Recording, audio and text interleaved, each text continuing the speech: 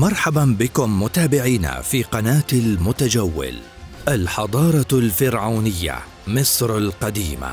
الجزء الثاني. أهلا ومرحبا بكم جميعا.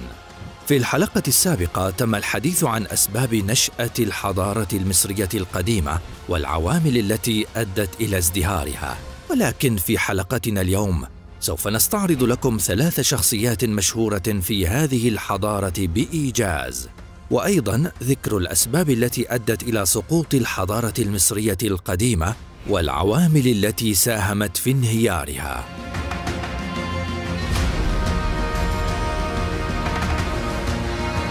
الشخصية الأولى الفرعون إخناتون. اسمه امنحتب الرابع وهو فرعون من فراعنة الأسرة الثامنة عشر. والتي تأسست على يد الفرعون الأول أحمس الأول من مصر القديمة في فترة عصر الدولة الحديثة والتي تشمل من الأسرة الثامنة عشرة وحتى الأسرة العشرين. اشتهر هذا الفرعون بتغيير اسمه واتخاذه اسم أخناتون وبناء عاصمة جديدة له سماها أخي تاتون حاليا تل العمارنة. وكذلك عرف بتخليه عن العديد من الآلهة المصرية القديمة والتي كانت تعبد بمناطقها المختلفة. بما في ذلك الإله الأكبر آمون را. وإغلاق المعابد وتسريح كهنة تلك المعابد وتركيزه فقط على توحيد البلاد لعبادة إله الشمس آتون المتمثل على هيئة قرص الشمس. الشخصية الثانية الفرعون رمسيس الثاني. رمسيس الثاني كان الفرعون الثالث من حكام الأسرة التاسعة عشر حيث كانت فترة حكمه من 1279 وحتى 1213 قبل الميلاد. اشتهر الفرعون رمسيس الثاني كأقوى وأشهر فرعون في عهد عصر الدولة الحديثة.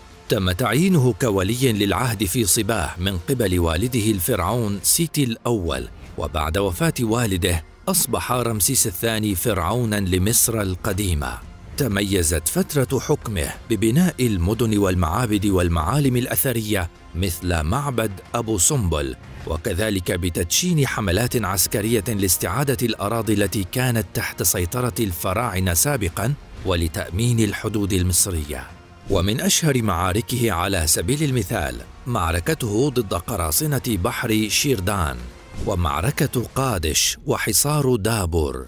أيضا من أسباب شهرة رمسيس الثاني الاعتقاد بأنه الفرعون الذي عاصر النبي موسى عليه السلام حيث أثبتت الفحوصات على مومياء رمسيس الثاني أنه لم يمت غرقا. وإنما أظهرت الفحوصات أنه كان يعاني من أمراض في اللثة وأمراض في المفاصل في سنينه الأخيرة من عمره. الشخصية الثالثة الفرعون توت عنخ آمون.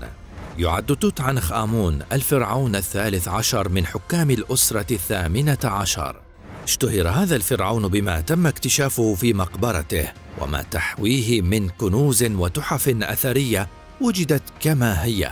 لم تتأثر مع مرور الزمن بسبب أنها كانت محفوظة طوال تلك الفترة.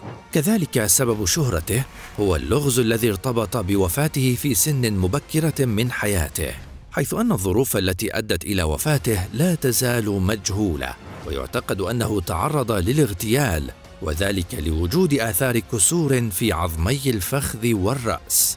سقوط واندثار الحضارة المصرية. هنا عدة عوامل ساهمت في إضعاف الحضارة الفرعونية وانهيارها ولعل من أهم هذه العوامل أولاً العامل السياسي. كان للعوامل السياسية تأثيراً واضحاً في سقوط حضارة مصر القديمة والتي تمثلت فيما يلي. عمل بعض المقاطعات بمبدأ الحكم الذاتي حيث كانوا يتبعون الملك في حروبه وغزواته ولكن كحكام مستقلين. التعرض لخطر الهجمات من المجتمعات السامية من الشرق وخطر غزو الإثيوبيين والنوبه من الجنوب. مرور الحضارة بفترات انتقالية وحكم مصر من قبل ملوك أجانب مثل الهكسوس والفرس والإسكندر الأكبر. انتشار الفقر بسبب الحروب والصراعات الداخلية المستمرة. نشوب الاضطرابات بعد موت الفرعون أمن محات الثالث. آخر ملك قوي من الأسرة الثانية عشر وتدهور حالة البلاد. ثانياً العامل الاقتصادي.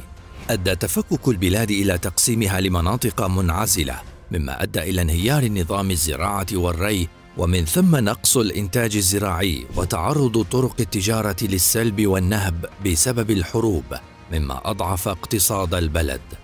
فكانت بعض الحروب يشنها الفقراء للحصول على الطعام والمأوى حيث ترتب على ذلك اختفاء الحقول الواسعة من أملاك نبلاء وسادة البلاد. وأيضا أدى تجنيد الفلاحين والصناع في الحروب إلى إهمال الزراعة وركود المياه وتكون المستنقعات.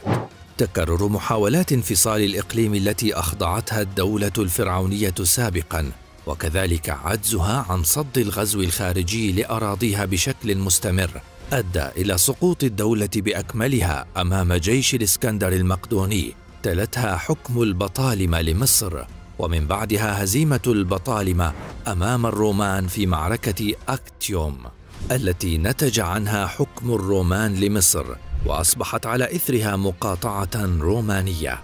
تم إصدار عدة قوانين معادية للوثنية في كافة أرجاء الإمبراطورية الرومانية بين عامي 389 و 392 ميلادي مما كان له أثر كبير لفقدان واندثار طبقة الكهنة والكاهنات مع مرور الوقت. لأن الكتابة والقراءة باللغة الهيروغليفية المصرية القديمة كانت تستخدم في الطقوس الدينية وكانت مقتصرة فقط على فئة طبقة كهنة معابد مصر القديمة. وبذلك نصل لختام جولتنا هذه في بلاد وحضارة مصر القديمة إلى أن نلقاكم في جولة أخرى لمملكة وحضارة أخرى في العصر البرونزي. نشكركم على حسن مشاهدتكم واستماعكم ونتمنى أن تدعموا القناة وأن تفعلوا جرس التنبيهات وأن تضغطوا على أيقونة الإعجاب. ليصلكم كل ما هو جديد من قناة المتجول. شكرا للمتابعة وإلى اللقاء.